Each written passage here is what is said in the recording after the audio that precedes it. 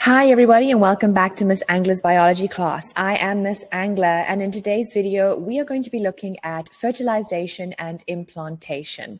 Now, if you're new here, don't forget to give this video a thumbs up, subscribe, and turn those notifications on so that you get the newest videos every Tuesday and Thursday for grade 8 to 12 biology. So let's get into the video. Now, today we are going to look at specifically the changes that occur in a zygote um, after fertilization and then into implantation. Now, it's important that before we get into the details of how this occurs, you need to be very familiar with your meiosis stages. So I suggest you go and click the link above now to make sure you understand how meiosis works. But you also need to make yourself very familiar with the structures needed uh, in the female reproductive system as well. Now, to make sure that we are all on the same page, it's also really important to know the structure of your egg and sperm cell.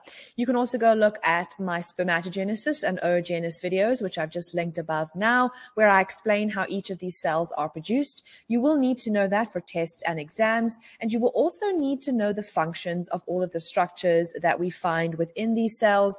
You also will be asked to draw them, label them. So I suggest that you're very familiar with both of these types of cells first first before we get into fertilization and then implantation.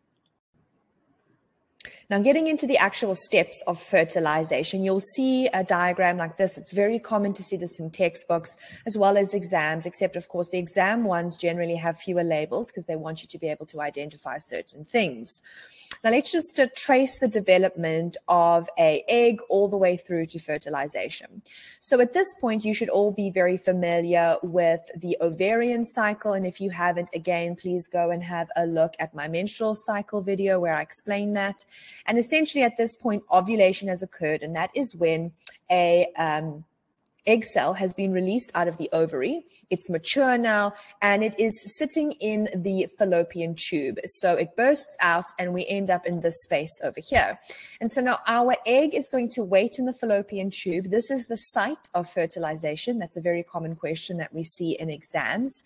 And essentially what happens is um, sperm cells are going to make their way over to the egg. Um, they sense the egg via a chemical message that they can receive from the egg, so they know where to swim. And basically, they all start to try and burrow into the egg. Only one sperm cell is successful, though, and that's important. Um, for every one egg, there can only be one sperm cell. In a later video, I will explain how it's possible then to have, you know, twins. But essentially, one sperm cell burrows in and it leaves behind its tail and its neck. And the only part that actually goes into the uh, egg cell is the head of the sperm cell. And that's where the nucleus is. Now, when you are describing this in an exam, I need you to make sure that you speak about the fact that after the sperm cell has burrowed in, the sperm nucleus and the egg nucleus are going to fuse. And this is an important step because this is where we are taking a cell, which is N, which represents haploid, and our other cell, which is also haploid. We're taking two pieces of information that are haploid, and we are forming a zygote cell, which is diploid. It has its full complement of chromosomes.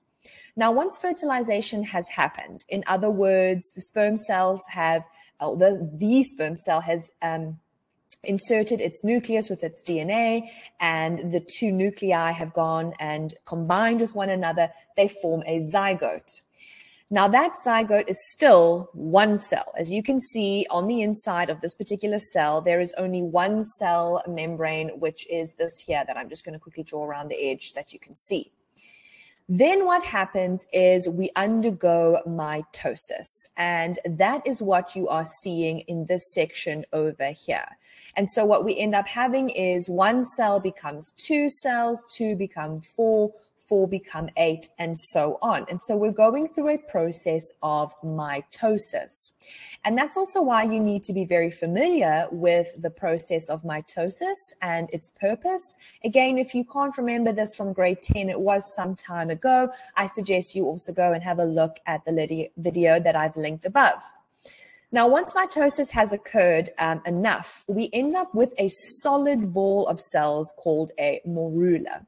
Now, it still has this protective layer on the outside that we can see. So that is not the cell, everybody. Remember, it's all of these little pink structures on the inside. That is the cells and it forms a morula.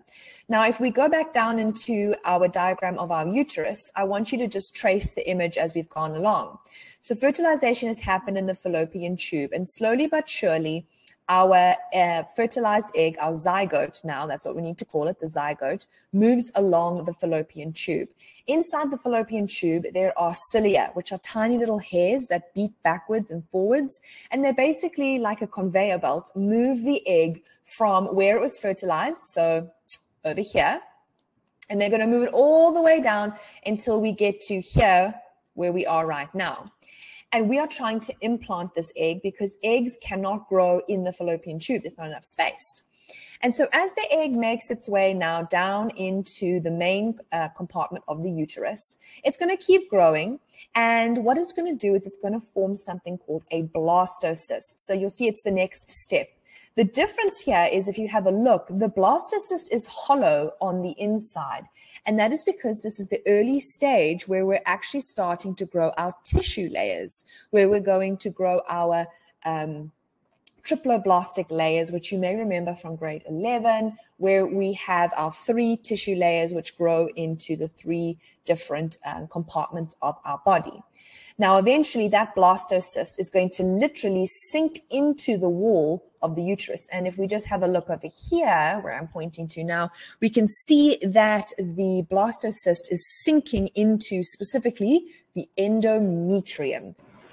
Now, remember the endometrium was thickened and made more vascular and glandular by progesterone, and estrogen assisted in um, initially regrowing the layer after the menstrual cycle had completed. And technically, now pregnancy has occurred. From this point onwards, if you took a pregnancy test, it would be positive. Now, I know that particular diagram is intimidating. There's a lot going on there and you feel a little bit lost. So let me explain with a very, very simple diagram one last time to summarize.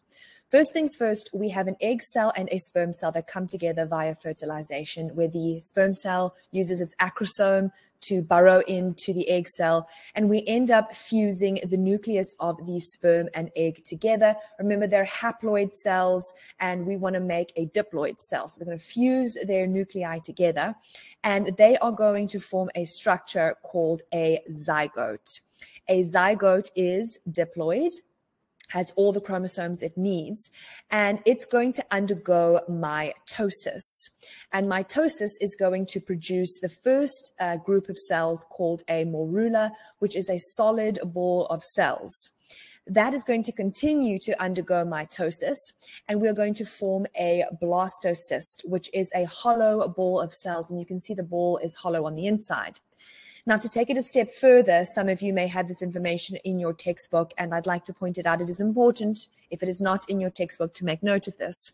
The outer layer of the blastocyst, which in this particular diagram is represented by this um, white uh, layer of cells on the outside here, that is known as the trophoblast. And that is the outer tissue layer. It is the tissue layer that is going to grow into your skin and your nervous system, whereas the yellow colored layer of cells on the inside is going to become all of your internal organs. And so it's important to remember that once we're a zygote and we are now diploid, which means we have a full set of chromosomes, we are then going to undergo mitosis all the way through here, all the way until you're born, in order to go from just a group of cells of four or six to billions of cells that you are now.